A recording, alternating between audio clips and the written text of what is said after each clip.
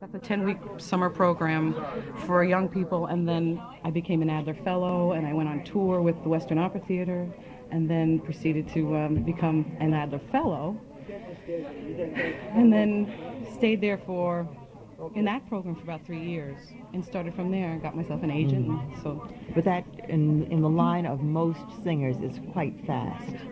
I guess so. It yeah. really I'm, is. I'm blessed and very lucky to have it happen so smoothly, I must say. Um, you do mostly coloratura roles, and that is your that's your voice. That's, sure. Mm-hmm. Um, I love the bel canto repertoire. Um, I also sing a lot of Mozart mm-hmm. and uh, a lot of the French music, so I have a fairly wide range of, as, far, as far as the voice is concerned. So I don't like to box myself in as just a coloratura, but I do have that flexibility. Do you enjoy doing um, not only the flexibility in the music, but what what do you really like on stage? What kind of things do you feel most comfortable in dramatically? Uh, well, I love to play the saucy, fiery kind of soprano roles as the things that I do, Susanna, Rosina. Mm-hmm. Um, but I love playing the romance too, as in Juliet and Romeo and Juliet, and uh, see, you know, Lucia. One of the operas I've not seen, and I know that it was done, I think, just last year by Opera Orchestra, is uh, Linda de Chamounix. Yes. Uh, tell us a little about that role. Well, I've never done that role. I know, but you sung, you have sung the arias. Well, the arias, yeah. yes, but that's. So just, you must uh, know something. Well, it's an, it's a very standard piece mm-hmm. as far as with my voice category. So it was a piece that we thought should be on the album, right, Tony? and uh, in terms of fireworks and, and oh, there's plenty in that one. Yeah, it used to be an aria that I never wanted to do, Why? ever, ever, ever, because everybody did it. it was like I don't want to sing this now. Everybody's doing it, but um, it ended up being a piece that that sounded really good, and, you know, and suited me very well. So I'm saying, "What are you crazy? You need to sing this piece." I said, "Okay, okay, okay, okay." So I ended up doing it. All right, let's hear what this piece sounds like uh, from Donizetti's Linda di Chamounix. We're going to hear the Act One recitative and cavatina. The soprano is Ruth Ann Swenson with the London Philharmonic, conducted by Nicola Rescigno. Wow, that is fireworks, and that's awfully impressive. Ruth Ann Swenson with the London Philharmonic Orchestra under the direction of Nicola Rescigno in Donizetti's first act aria, uh, actually the recitative and cavatina from uh, Linda di Chamounix. And how do you do that? I mean, you just kind of hit the notes and, and they just sort of float. How, what, what? Thank God. is that? No, I mean, there's some technique involved, yes. of course but I, I really don't sit there and ponder how I'm going to do this note. I just go do for it. it. Yeah. Did it always come easy for you? I, I when I was singing, um, and I was much much younger. I mean, when I was in my teens, all those notes just sort of flipped out, and everything was very simple. So I didn't worry about technique, and that was a big mistake mm-hmm. because when I got older, I couldn't do it anymore. Well, that's true. Um, of course, most of us are all blessed with a natural yeah. voice that we say, okay, maybe we can have a career with this, but um, I've studied with a man named Dixon Titus, who I really have learned. I give every inch of credit to him for giving me the technique that I have. Um, yes, the notes are in the voice, but you really have to know how to support and, and what you're doing with them as far as getting them out there night after night after night. So, um, but I, I just love singing up there. I don't I don't worry about, oh my God, is my high note, you know, or the high note's going to be there. I think if you do that, you're going to have a lot of problems. You have to just so have confidence that it's going to work and you've studied hard and it's going to be there when you need it. Yeah. It's uh, like going into a marriage. You don't think, of, exactly. I can get out of this by divorce. You, you go in and make it work, period. um, ever want to be a dancer by any chance? Well, me too, but. Not with this uh, physique, let's oh, you, just say. You're fine. No, I was into sports and things like mm. that, but not a dancer. I mean, hopefully I move fairly gracefully on yes. the stage. you do. But, but um, dance is not one of the things that I, I aspired to, no. Would you mind if we played some ballet music? Oh, I think it'd be wonderful. Okay, it's still from opera. I'm June LeBell, and we're in Tower Records downstairs in the classical department on uh, 66th Street and Broadway, where everything is on sale every operatic disc and uh, compact disc, video, laser, everything in the store. So come on in, buy something. Ruth Ann Swenson is with us, and she will be very glad to sign her compact disc, Positively Golden. Ruth Ann, you said while we were listening to the ballet music that uh, you're going to be singing with Seiji Ozawa That's very right. soon. That's right. Um, in the springtime, in March, uh, I make my first trip to Japan, Oh, and we do the Barber Seville. And uh, it's my first time to work with the maestro, and uh, I'm really looking forward to it because I hear, he's, I mean, he's just fantastic to work with. So Is this a, a Japanese company? Is it uh, what, what company is it? I don't know if it's part of a company. I think it's people he wants to work with, Oh. and he decides on the opera, and then he brings everybody over there, Is and we staged? performed. It's staged, yes. It's a wow. co-production. And where do you do you know where you rehearse? I know we sing in Tokyo, but I'm not sure of the other cities that we do travel to. I know there are several. Do you rehearse here? Do you know, or, or over there? How does that I work? I think we might rehearse here for a while and then take it over. That's very exciting. I wanted to ask you a question about um, vocal technique and just if you could describe to our listeners what it feels like inside physically when you trill. What is that? It's it sounds as if it would feel as if everything would just vibrate. Well, a trill does have to vibrate, and um, But what does it feel I guess uh, it's mostly. I think if you wanted to put one word to it, it's uh, support and on the breath. If it's not that, you can't do it.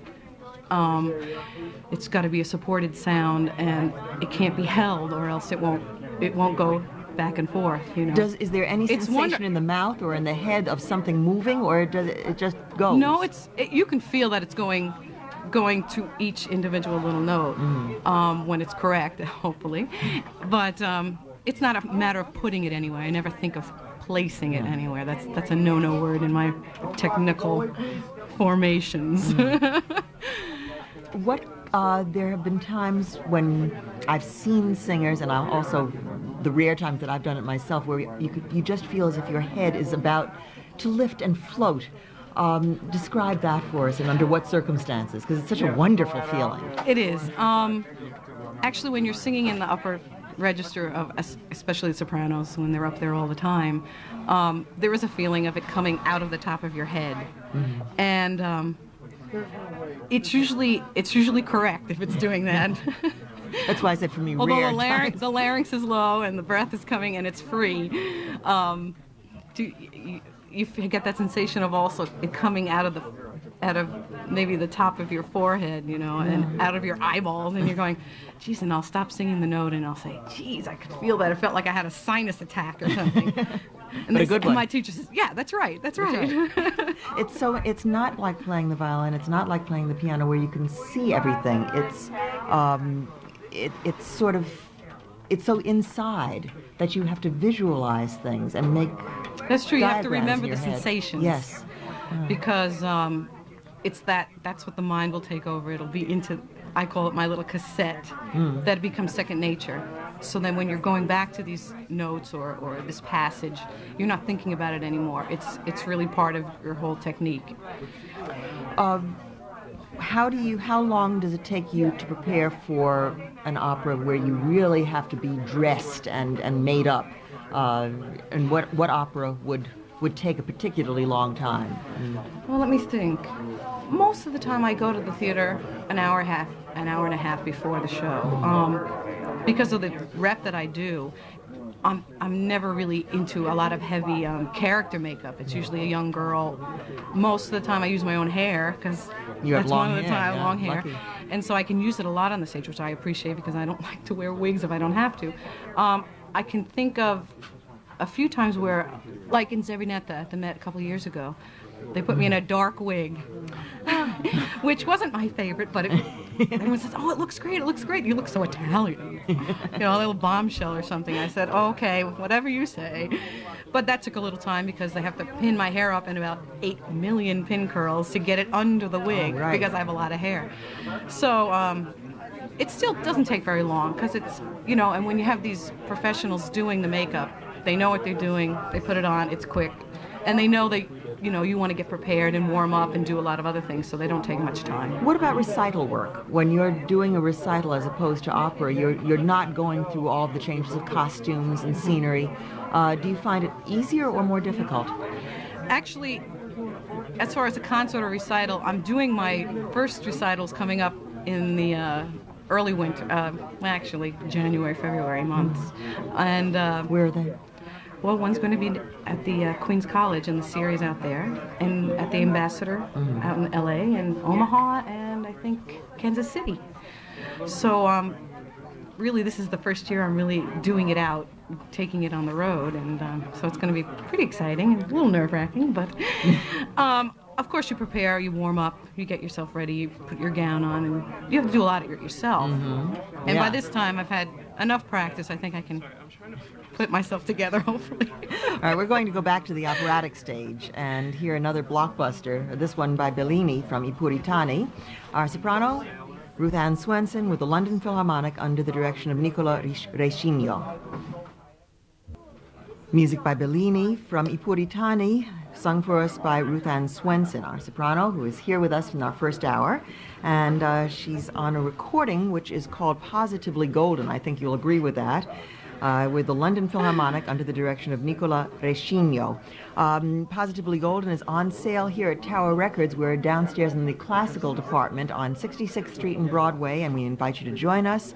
Come on in. Ruth Ann Swenson will be very glad to sign compact discs. There's actually a line here, which Well, I would nice. expect for you.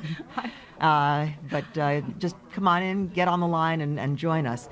All of the vocal CDs, videos, laser discs, all of that is on sale here at Tower, and we're giving some things away also. We have 10 pair of tickets to the Metropolitan Opera's new production of Lady Macbeth of Mtsensk. Uh, which takes place on Tuesday, November 22nd, and 10 pair of tickets are available to the opening of, a, of the uh, performance of the Met's new production of Madame Butterfly, which will be Thursday, December 1st. Um, we just don't have those 10 tickets. In other words, there's a drawing, and you come in and be part of that drawing.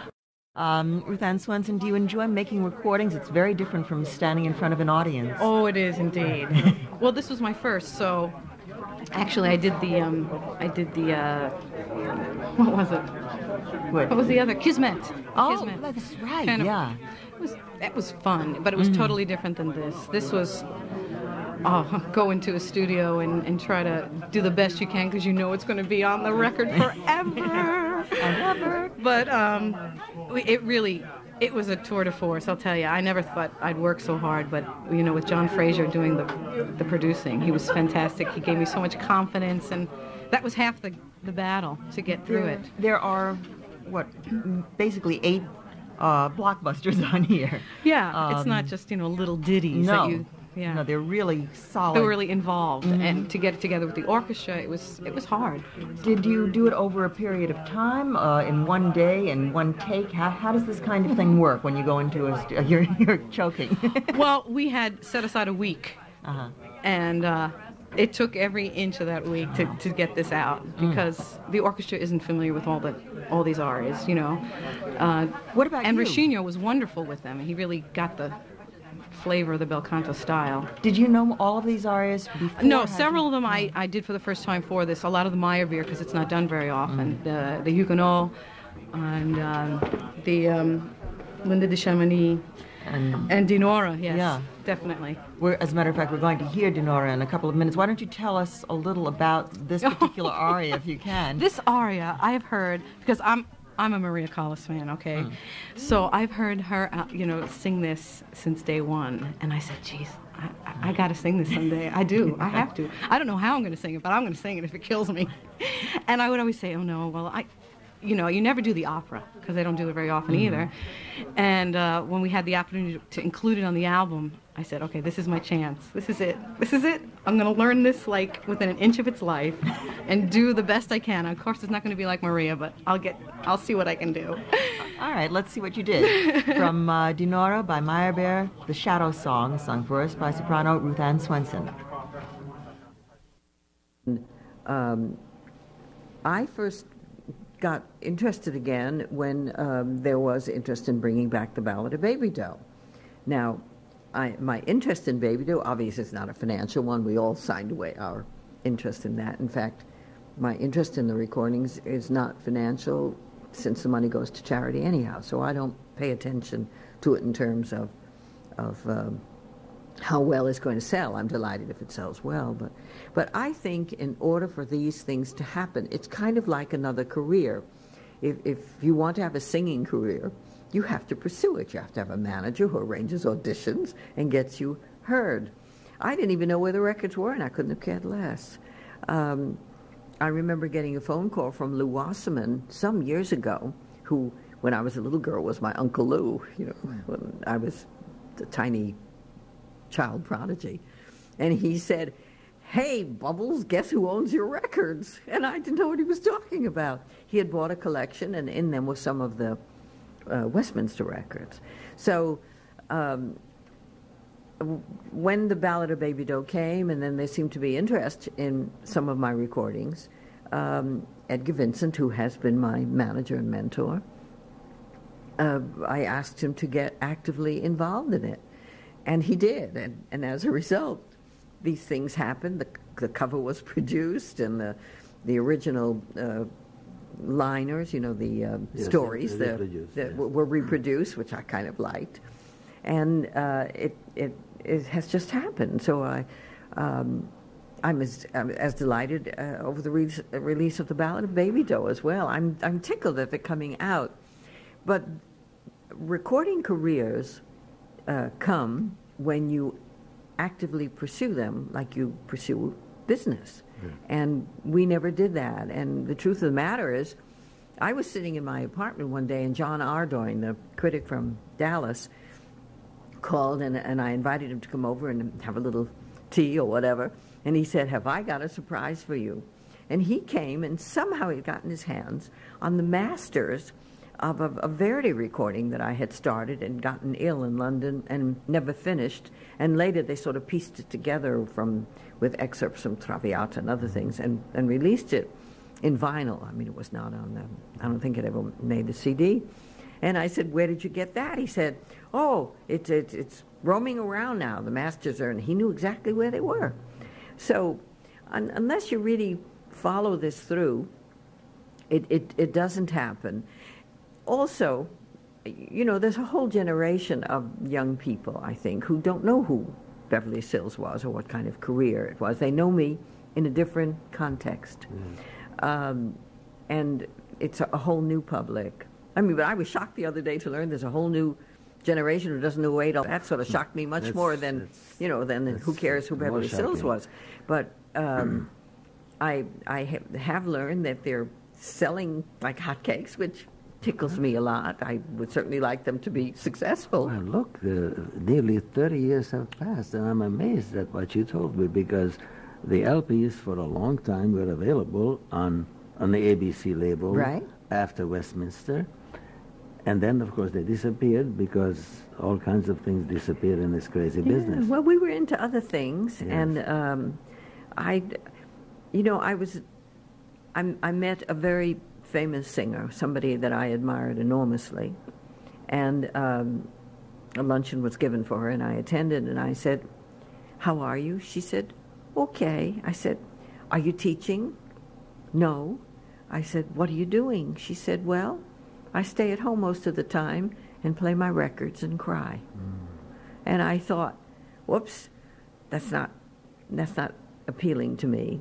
Um, but I, I never retired, uh, really. I, I just stopped singing and moved on to something else. Well, it's unique and unusual, and I'd like to think that the example you just cited of the other prima donna who sits home and cries is the other extreme, and I hope that somewhere there are Something a number of opera singers in between who are neither as unbelievably active as you are, nor as unbelievably sad and tragic as the other lady. I'm sure, I'm sure there are quite a few sitting there. in I, I hope so. uh, now, uh, returning to this wonderful trilogy, which I'm sure is selling like hotcakes, uh, how did the Soul project originate? Back in, in the late 60s, you were already, that was your post Julius Caesar phase, Yes. and you were already a star at the City Opera. The breakthrough had already happened, and how did this project came about? Well, after the Cleopatra, uh, Julius Rudel called Norman Treigle and me into the office, and we had one of our long meetings. And Julius said to me, What do you think your next project should be? And I said, without a moment's hesitation, Manon. And he said, Done. We'll do that one together. Um, and then Norman was sitting there, and Norman wanted to do Coq d'Or. So um, Julius said, you know, there's a wonderful Queen's role in there for you. So I said, wonderful. We grabbed it. So I think the coq d'or was in between Cleopatra and the Manon. But the Devereux was presented to me just along the time that I was uh, working Manon with Julius um, by my coach, Roland Gagnon. And he said, I want you to take this score home and, and play it. I, I did. I took it home. Um, and usually I read the text first. But Roland was so excited about it musically that I just sat at the piano and sort of worked it through. And I said to him, I'd like to do it, maybe at a later date, but I, I really would like to look at Lucia and, and um, you know, some other stuff first that I have never had the opportunity to do in New York. Go home, he said, and take this and read this, the text. Don't look at the music. And I read the text just as if I was reading a play, and I was really hooked on it. Um, it did not start out as a, a project of three queens. It started out with Elizabeth, period. Um, and later, when Roland suggested that we take a look at Bolena, which uh, mm-hmm. Maria Callas had done with great success, Roland was smarter then, and he just sent me the mad scene from Anna Bolena, those mm. beautiful three yes. interlaced, interlaced uh, yes. arias. The finale, um, actually. Right. Yes. And um, naturally, I was very taken with her. And then the Stuarda, and it, it was really at, at, at Roland's urging, and to Julius's credit, that he bought the project. Um, because, uh, you know, bel canto is not the most interesting repertoire for conductors. And yet he did, t- Julius did take the time to go through it and, um, and, and agree that it was a, a good and interesting project. And then when he brought Capobianco into it, and Capobianco sort of outlined how we could interlace some of the sets and the costumes that you know the thrones the the the mm. fact that um, Elizabeth was the daughter of of, of Henry VIII you know so I mean it, it, it was a, a, very interesting theme and it grew and grew and we all got very excited about the project yes.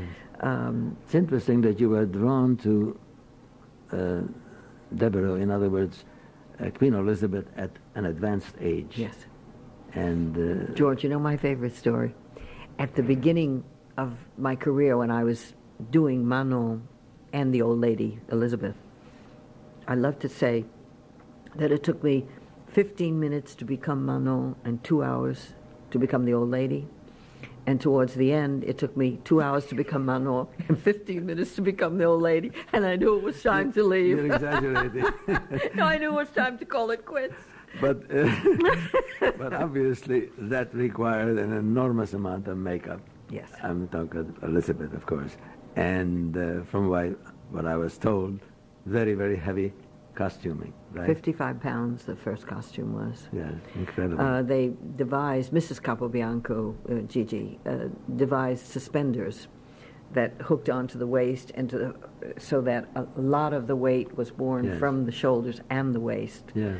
Uh, you know, we sort of split it up, but it was exhausting. But it did help me walk like an older woman. Yes. There was there was no way to have quick movements in that costume, and the each time she went up to the throne, yes. um, that the weight of that costume yes. uh, helped me to show the, the show weight the age of, of, of, of, the age. yes. and the age. Because mentally you were too young to identify with, with the character, although you I imagine you lived the character. I read so much about it. I have a very extensive uh, uh, library of books yeah. on, on this woman.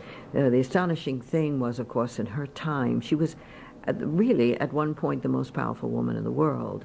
And women were never really looked upon as, as uh, powerful objects. And yet, this woman literally ruled the world at some point. Um, and it was astonishing how, how long she lasted. Yes. That wasn't assassinated. Nobody chopped her head off. You know, well, she, she, did uh, some assassinations. she did a share of her own, yes. Own, yes. Do as I say, or to make sure to remove uh, objects, uh, uh, any, any, any, any threats to her throne. Of course, Maria Stuarda was the main uh, threat to her throne. Oh yes. This is a crucial moment for Queen Elizabeth toward the end of the opera as Roberto Devereux, the Earl of Essex, is led to his execution, a tragic fate that the operatic queen takes very, very tragically. History tells us a different story. I'm talking with Beverly Sills about her recordings of the Tudor queens, and more will follow in a moment. My guest is Beverly Sills. We already heard a scene from Donizetti's Roberto Devereux. How do you compare these three queens in terms of vocal challenges? From a vocal point of view, Stuarda was the easiest. Mm-hmm. Um, he got her character, which was very feminine, um, with the exception of the one famous, you know, Vil Bastarda scene. Oh, yes, the duet with the uh, uh, all of the the music is reflective of a very very female yes. person, so that for my voice, the femininity was um, very easy for me to convey because it, it was in a very healthy tessitura for me.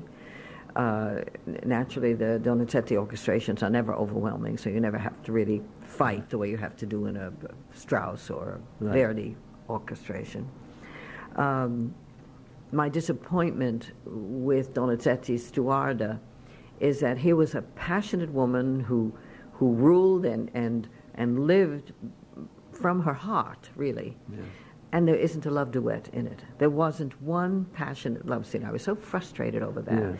I just felt if one moment everybody could go off stage and leave her yes. with this man. Well, that, with Leicester, you mean? Yes. Well, that was historically inaccurate anyway. well, I mean, you know, the, the, whole thing is historically inaccurate. And yeah. since it is, I wish he could have stretched it right. six more minutes more. and yeah. given me some sort of passionate moment with this man so that you really see that this woman. Yeah, but you had a lot of passion vis a vis Elizabeth. Uh, yes, but. Um, not the same. Not the same. Not, the same. not, not no. the same kind.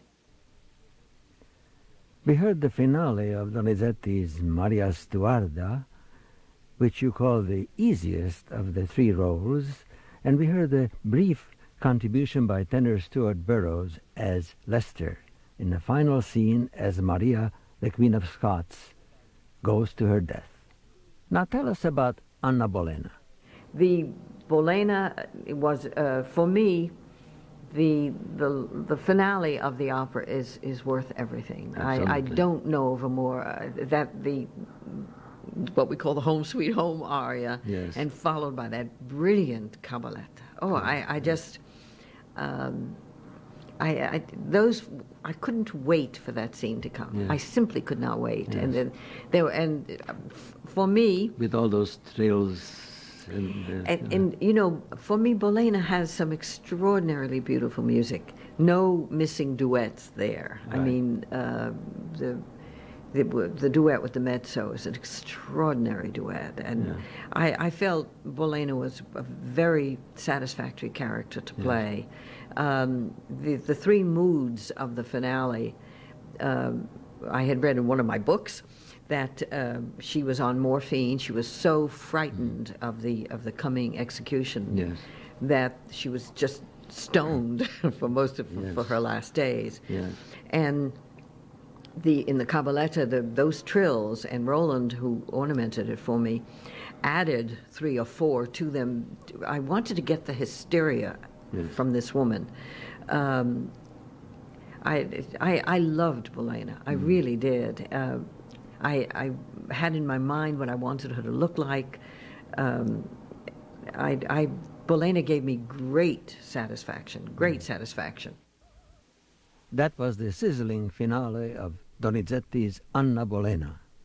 A few words you wanted to add about Maria Stuarda, and then we'll close up with a few other reminiscences of your glorious career? As I said, uh, vocally, Stuarda was a pushover for me. There wasn't a hurdle in it. I didn't have to think or worry about anything there and could concentrate on her character as best I could. And I thought Capobianco staging at the end in that brilliant red dress and her head on the guillotine and thumping three times on yes. the on the, on the yes. wood, and then the blackout and yes. uh, one night, a woman yelled, "No, no!" You know, they, they were so caught up in it. It was really yeah. wonderful. I, I, the staging. But with that black dress was historically accurate. Yes, that I- I- we tried to get a few little things. You know, Yes. the the 55 pound gown in Devereux was taken from the Tate Gallery. It was, it's, Mm-hmm. you know, the the pearls and everything was was duplicated, and that was kind of nice.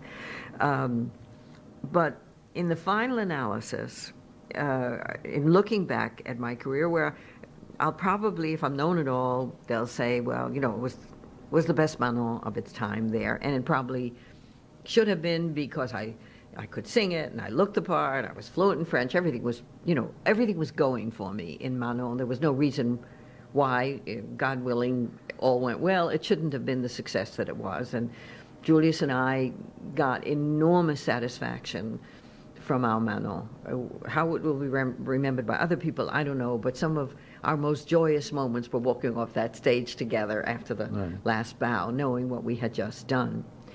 But from my point of view, I felt Cleopatra and Manon had no hurdles for me, and I, I should have been able to do it well. My, I think my finest accomplishment in my mind will always be the Queen Elizabeth, because I couldn't look in the mirror and say, well, you look the part, so you don't have to worry about that. Wrong. Um, how, how you play the role of a, a, a woman about whom so much has been written, so much is known, so much a part of history, um, was a great challenge to me. Um, and in a funny way, although the orchestrations are equal in the three operas, because the text is so important in Devereux, um, I felt it necessary really to weigh down on my voice in a way that I did not do. Bolena was medicine for me. When I finished Bolena, I could have sung her again. And certainly with two artists, and she's only in half the opera anyhow, I probably could have sung her three times again. But um, when the curtain came down on Devereux, I was emotionally spent and vocally quite close to using what I used to call vocal capital. I could not have sung uh, much more when the curtain came down, and I knew that. Um, I was exhausted when the performance was over, Was physically, vocally, mainly and emotionally. emotional or- yes, she took a great deal well? out of me. Yes. It was very difficult to pace her Mm-hmm. uh, because I got so carried away with her. And that text, that text, I, it was so important to me. Even in those days, there were no super titles, but it, I just felt by body language somehow I had to get the the fabric of this woman across to the public. This extraordinary. Uh, Did the uh, the finale of it, Vivi Tiranno and the others, was it a particularly trying experience Yes, for it you? was. Oh, It yeah. was. Um, also, it, it was interesting, a, a discussion that Tito Capobianco and I had was that in, in the books I had read, Elizabeth was so frightened of, she didn't want to die. And so she spent a great deal of her time standing up because she felt that people die only when they're, They're lying lying down. down. and yet, in the final scene, he wanted me to do it sitting on the throne because he, his, and he convinced me, and, I, and he was right, of course. Whenever she got in trouble, whenever things collapsed around her, she retreated up those four steps to the throne. Uh, that was her haven, her protection. She felt invulnerable when she was sitting in that throne. Nobody could touch her. The minute she came down, she felt very vulnerable. So that he wanted her in all her moments of need to get to that throne, even if these were her last steps. Let me ask you this. We are thinking now 30 years back. Did you ever imagine yourself as being chairman of Lincoln Center 30 years later and Placido Domingo being what he is today? No, you know. King of the world. Shall I tell you that on when I recorded this with Tommy Schippers, um, Giancarlo was at the studio that day, and if you don't think I was scared, I was scared because his he's sitting in the studio watching me do this, you know. Yeah. But um, it's uh, it's a tremendous thing. It's a tremendous thing to sing, and you have to. I have to be in such control that I can't let uh, I can't let my emotions get to me too much because I'll start to cry, and I can't sing and cry at the same time. What was his reaction when he heard it? Oh well, see, he thought I could do no wrong anyway, so it doesn't make any difference. He's wonderful to work with, yes? Oh yes, I've known Giancarlo for years. Tough, discerning, sensitive singing actor, not just a heroic tenor, but a thinking heroic tenor, Jon Vickers has made the role of Peter Grimes virtually his own. Our broadcast producer Marilyn Merker, who knew Vickers when he performed the part with the San Francisco Opera, asked him to elaborate on his interpretation. The first time I ever was associated with Peter Grimes was years and years ago when I was a student of music, really, the conservative music in Toronto. And uh, I sang in the chorus of Peter Grimes at that time. And from the very first introduction of the work, to me there was an absolutely impossible contradiction within the opera, within the character of Peter Grimes. And it was such a conflict that I came to the conclusion that there must be a key that would unlock that conflict. I disagree with those who say the original concept was one of a misguided uh, poetic uh, person. That was not the original concept. The original concept was of a fisherman in a situation that was rejected by a community because he chose to be different or because he was different because he was suspected of beating little boys, because he was suspected or was a homosexual. When I was first asked to do the part by Sir Rudolf Bing in the Metropolitan Opera Company, I told him that I wanted to speak with a producer before I would sign the contract because I wanted to tear this opera right out of the grasp of what I thought was a limiting concept where it was a specific situation in a specific locale with a specific group that wanted understanding and compassion. And I wanted to rip it right out of that concept and transfer it into a universalized, timeless concept of the whole psychology of human rejection. Because in the anguish of Ben Britten in those years, and he was an anguished person in those years. Mm-hmm. He was in self exile in a way out here in California, not thought of kindly by the British people because he'd run away from what he thought was the war. Mm-hmm. He was, at that time, a practicing homosexual with Peter Pears as his love, and that was a, a taboo, a real taboo in those years. Oh, yes. And the, the whole of this agony produced this soul searching gut reaction of Ben Britten to try to win understanding and compassion for himself and Peter in the world. It was autobiographical. I am absolutely convinced that it was autobiographical. So you feel it was a but, conscious. But in this conscious effort mm-hmm. to write this work of his own anguish, he did not realize what a tremendous, universal, timeless subject that he dealt with. And the homosexual world is totally wrong if they believe that they're the only people who ever feel rejected. We've all suffered the anguish of human rejection. We all know what it's about. And so, having come to this conclusion, I sought to find verification for it.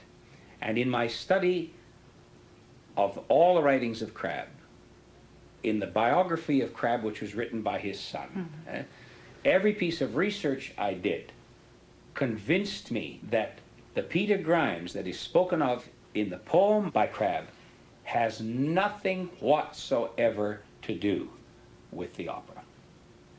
Bernheimer talks about, in his review, about me turning Grimes into a brute. He is not a brute. There is some misconception in the world today that just because a man can be physically strong and carry out acts of physical strength, that automatically he has no sensitivities that his inner life is not one of poetry and beauty. Do you understand? There, this is a misconception in our society today. Eh? But I think he acknowledges that what you do is show the brutish side as well as that sensitive aspect which a person can have. Yes, there is a side where a man of physical strength if he reacts to goading, and Grimes is goaded, then they say he's a brute. A person of not physical strength who is goaded runs into a corner and can be weak, physically weak. But that is just the, the difference in two reactions of two human beings. Uh, just because a man reacts to goading doesn't necessarily turn him into a, a brute. And Grimes, there is nothing, there is nothing in Grimes where he is a brute with that boy. Absolutely. Nothing. Right. Absolutely right. nothing. Hmm?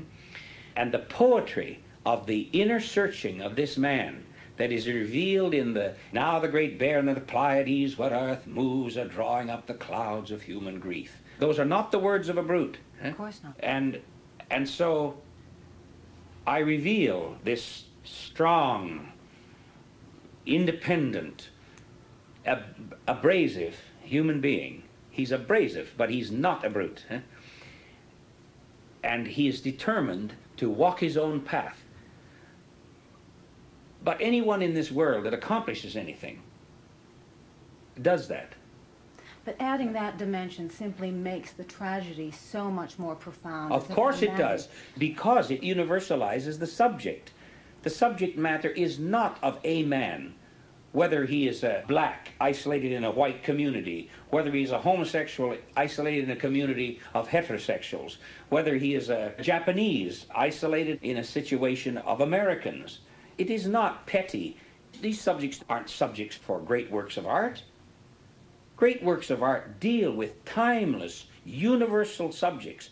They, they probe at the profound meaning of a search for truth, or they're not works of art.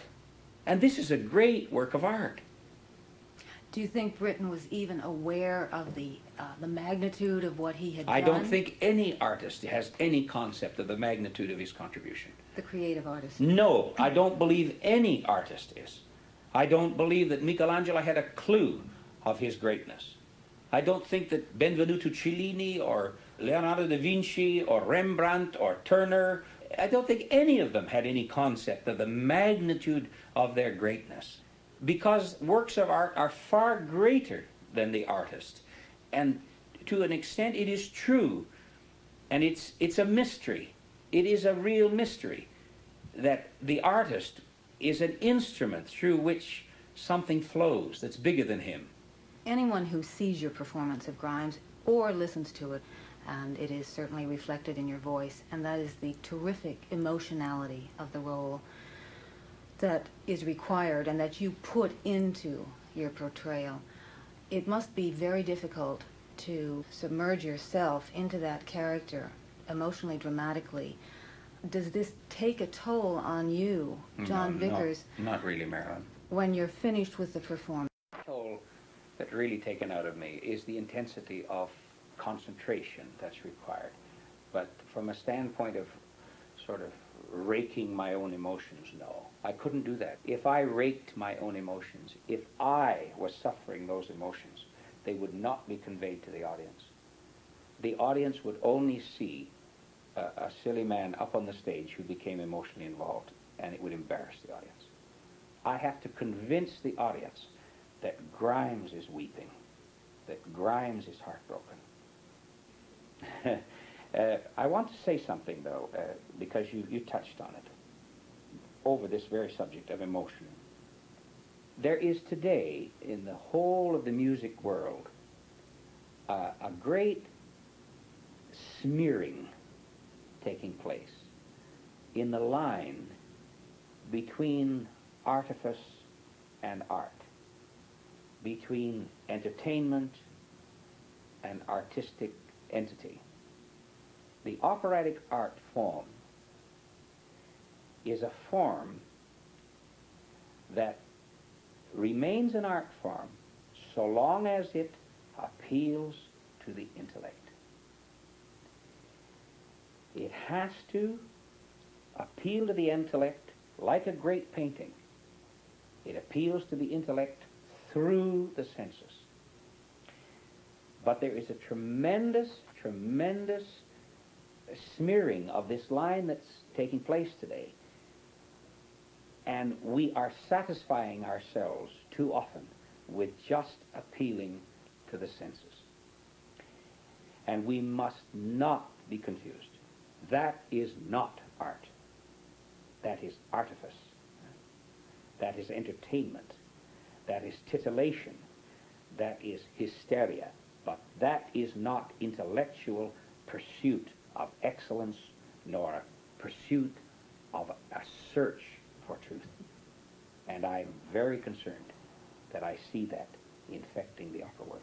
Because my emotionalism is emotionalism for a purpose, to, to serve a higher purpose of getting through the emotions of the individual to serve an intellectual end. I draw the audience into my arms and I say, come up here on the stage with me. Feel these emotions. Feel this anguish. Feel this rejection. And go away and think about how you treat your fellow man. How could I possibly stand before the majesty of a work like Peter Grimes and feel anything but humility? How is it possible? Anyone who believes that they should use a work of art for their personal glorification just absolutely appalls me. Who do we think we are that we would dare to use Verdi or Wagner or Britten or Mozart for our glorification? That's, that's madness. At the same time, through you, you can reveal to a larger public what the creator of the work may be intended. Or But that's my job. That's your job. It's my job to reveal Grimes, not to say, look at me, to look at Grimes. I want Tristan to be. And, and I, I think that to some extent I've succeeded in that. I think people like to come and, and, and see Grimes, not come and see Vickers. Uh, you know, here I am, and in a way, I resist, as you know, I resist interviews like mad Mm-hmm. because the fact that I give an interview tends to put myself between the audience and the work. I don't want an image between the audience and the work. I want the audience just to see the work. That's all. And it's my job to reveal it in the most complete way that I am capable of, intellectually, vocally, physically, Emotionally. emotionally. Well, I'm very happy that you consented to give the interview. Oh, Marilyn, it was a I- pleasure. To, it was a pleasure to, but uh, I just don't like in- inflating the personality so that they, it gets between the, the audience and the and the works I sing. I understand, and also you need a private. Oh, I'm a very private person. You are indeed. well, Yeah. it was wonderful seeing Oh, you thank you, Marilyn. with Thanks. It was a pleasure to see you again.